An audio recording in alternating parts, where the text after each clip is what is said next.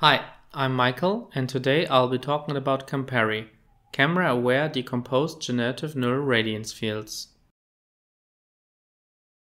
In the default setup for 2D based GANs, you start off by sampling a latent code Z from your prior distribution PZ.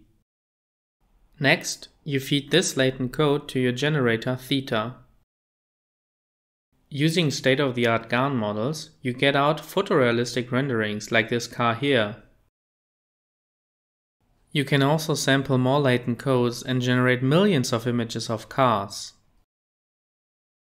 However, how can you take the same car you just generated and move it, say, to the top or to the right of the image? This remains a big challenge for 2D based GANs. The solution we adopt in this work is called 3D aware image synthesis. What this means is that we incorporate a 3D representation into the generator model, which then allows us to move around the object and have full control over it. Let's have a quick look at how our model actually looks like. We start off by sampling latent shape and appearance codes for the background as well as the foreground, as well as a prior camera pose. Next, we use the sample prior camera pose as input to our camera generator, which predicts a predicted pose. The 3D aware image generator then gets the latent codes as well as the predicted pose as input. The latent codes are provided to the fore and background radiance fields, and the predicted pose defines the camera viewpoint. For each pixel, we shoot a ray from the camera through the scene and evaluate the fore and background radiance fields at sample locations. We then use classic volume rendering techniques to alpha composite these evaluations, obtaining a final RGB rendering. This rendering we then provide as input to the discriminator. To train the discriminator, we further sample real images from the data distribution. Finally, the discriminator predicts whether the samples are real or not, and our whole system is trained only using the GAN objective. That means that we learn 3D representations despite training our model from raw image collections only, without any annotation. Let's have a look how well this works. Let's start off by illustrating controllable image synthesis.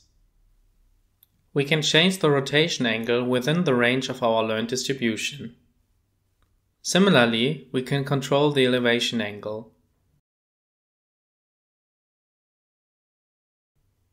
Further, we can also change the radius.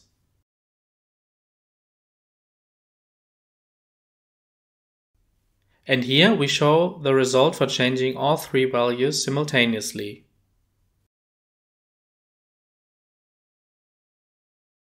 We now show a comparison to baselines. GRAF with manually tuned camera parameters leads to 3D consistent representations, but they still contain artifacts. In contrast, when not tuning the camera poses, the learned representations are not consistent anymore. Our method leads to more realistic and 3D consistent representations, despite no camera parameter tuning is required.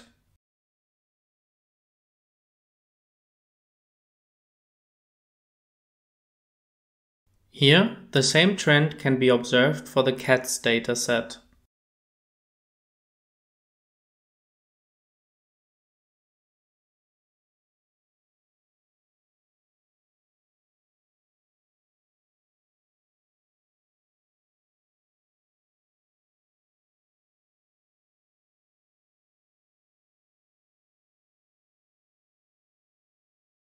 And here we show results for Carla, a synthetic car dataset.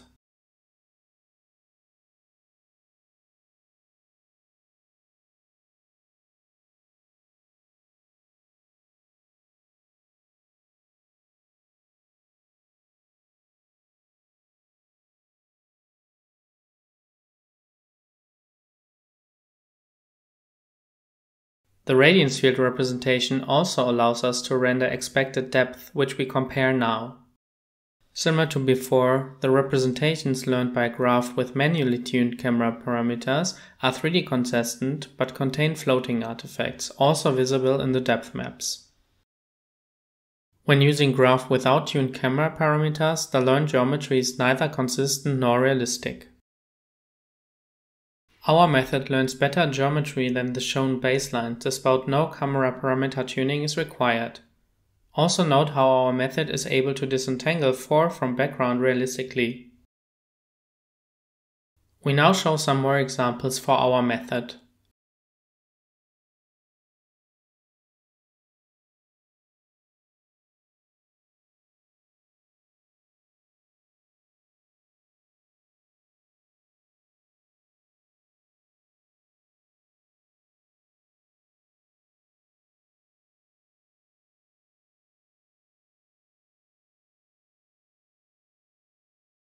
Make sure to check out the paper if you want to learn more about Campari.